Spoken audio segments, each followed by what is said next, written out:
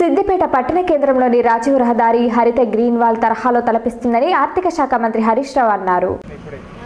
Corona వస్తే ఏమైనా ఇబ్బంది కాకుండా కరోనాకు కూడా పరీక్ష చేసేటట్టు మందులు ఇచ్చేటట్టు దవాఖానలు చేసేటట్టు ఇప్పుడే ఆడ ఛార్జ్ ఉంది కదా ఆర్బీఎం దవాఖాన ఇప్పుడు ఆడ ఓపెన్ చేసి వచ్చినాం పరీక్షలు చేసేటట్టు ఒకవేళ వస్తే కూడా అన్ననే ఉంచుకొని అన్నం పెట్టి మంచి వేయి ఇంటికి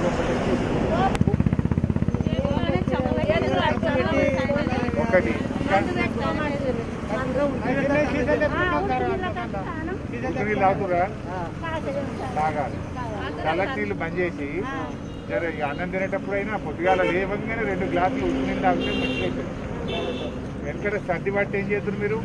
వేడి నీళ్ళల్లో? ఇంకా జింద కిరస్మాతో జండు బాంబో లేకపోతే పసుపు వేసి ఆవిరి పట్టకపోదురా?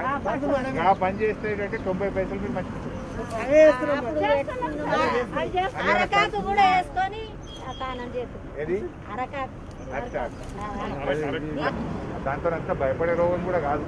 రండి పడద్దు. జాగ్రత్తగా ఉంటే అయిపోయి జర్ర మీకు ఒళ్ళు నొప్పులో త- జ- సర్ది గిద్దు ఉంటే జల్లి దవాఖానకు రాండి. ఇప్పుడు ఇంటి కదా ములుగుల ఇలా చాలు చేస్తే మరి ఏం భయపడద్దు? భయపడద్దు నిర్లక్ష్యంగా ఉండద్దు. అంతే కదా? ఖర్చు రోగం కాదు వేడి నీళ్ళు తాగుతాను ఖర్చు అయితే. బియ్యం ఫ్రీ ఇంటిమి పని పెట్టిమి రెండు వేల మంచినీళ్ళు మన ములుగుల మంచినీళ్ళకి ఎంత తిప్పలు ఉండే? ఉందా? సౌలభ్యం ఉందా లేదా? అటు